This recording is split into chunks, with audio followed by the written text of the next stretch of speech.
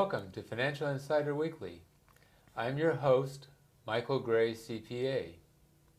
My guest today is Don Pollard, and Don is a chartered life underwriter, which we also call a CLU, and a chartered financial consultant, which we use CHFC. And he's an insurance broker at Advanced Professionals, which is a regional insurance brokerage company headquartered in Northern California, serving about 350 clients.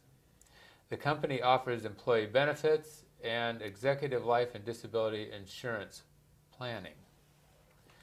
Don has worked in the insurance in industry since 1973, and he's been at Advanced Professionals for 12 years. He's managed insurance agencies and trained agents, and he's currently the incoming president for the Silicon Valley chapter of the National Association of Insurance and Financial Advisors. Today, Don and I will be discussing the Health Care Reform Act, and what that means for us as U.S. residents. Now, actually, we're going to be talking about it more specifically as it relates to employers today. Now, our purpose is to give some basic facts about the new Federal Health Care Reform Act to promote better understanding about what it means for us because there are a lot of people that are very confused about what this is about uh, and uh, so we're having a lot of controversy about it. As we get started though, I want to give you a caution. This is a huge piece of legislation.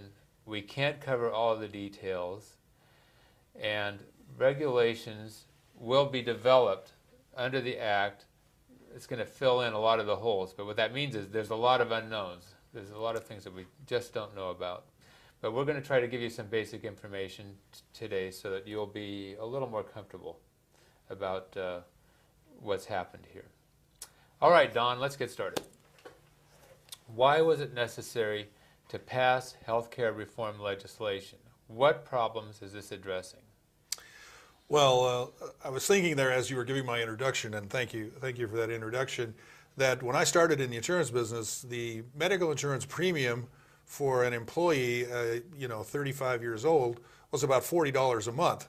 Yeah. And now, of the good course, old days. the good old days. And now, of course, we're, we're way out of bounds on that. And, and that, I think, is uh, of, the, of, the, of a portion of the, uh, the, the, problems that we face, a large portion of it is related to the, the cost. Mm-hmm. And uh, a piece of it, which is sad, is the, uh, the cost uh, that we're actually paying versus what we're getting. And to give you an example, uh, we pay roughly 16% of our GDP here on healthcare and uh, slash medical insurance, and that's roughly two times the median of all the other industrialized nations. So we're paying them a 2x, and uh, we rank 15th of 19 in mortality from conditions that are amenable to insurance. Mm-hmm. And we also rank last in infant mortality out of 23 countries. That's, that's really shameful. And we are tied for last on healthy life expectancies uh, beginning at age 60. So uh, clearly, we're paying uh, a tidy sum and not getting uh, probably enough out of it as we should. Over the past 10 years, Mike, uh, premiums have increased 131%, while wages have only increased 38%, and inflation at 28%. So you can see we're two, uh, three to four times uh, the rate uh, for increases in the premiums, and uh, that is a big, a major problem. Another factor of that is uncompensated care, which is people who go to the emergency rooms for their care, they don't have insurance. Uh, those expenses are then taken in by the states, and that's causing uh, clearly problems that we, we can't afford to have in California. And then, you know, obviously the, the big, biggest of them all is the number of Americans that don't have insurance uh, for one reason or another. Uh, so the act uh, addresses those, uh, I think, in a, in a favorable way. Good, okay. So, what are some key components of this act? Well, the act has, uh, I think, basically five components. We, we talk about the individual uh, mandates, you have employer mandates, you have coverage mandates. the the implementation of insurance exchanges, and uh, also we have, of course, the revenue generating portions of, of the Act. Okay.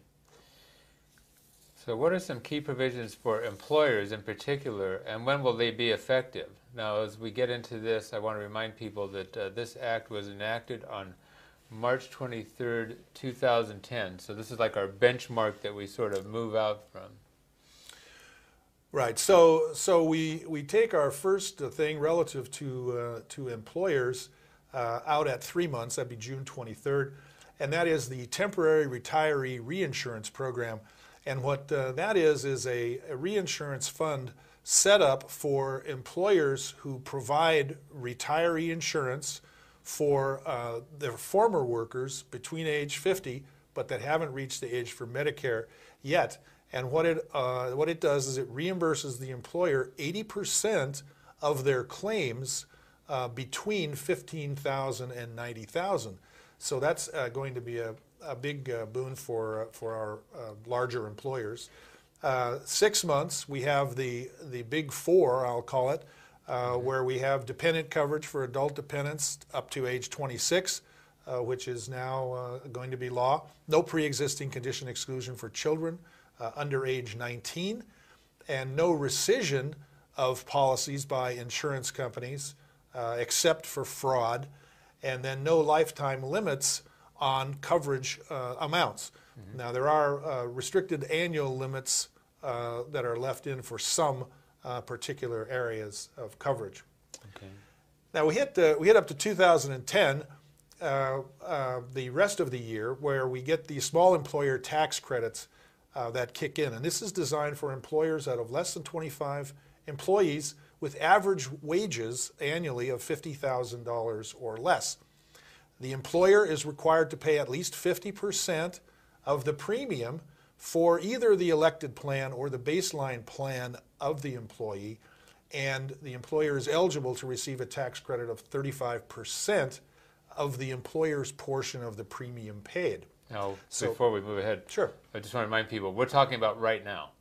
So this is two, this is this year. Yeah, 2010 right is now. So in case exactly. zoned out, you know, that, oh right. well, this is someday. This is now. So employers need to be aware of this uh, and looking at at uh, these provisions as they relate to them. Absol- absolutely, I would say you need to do a calculation either yourself or have a professional do it that you work with mm-hmm. uh, to determine that. Okay. Uh, in 2011, uh, Mike the medical loss ratio reporting requirement kicks in, and this is going to be applicable to insurance companies or uh, possibly self-funded plans slash employers.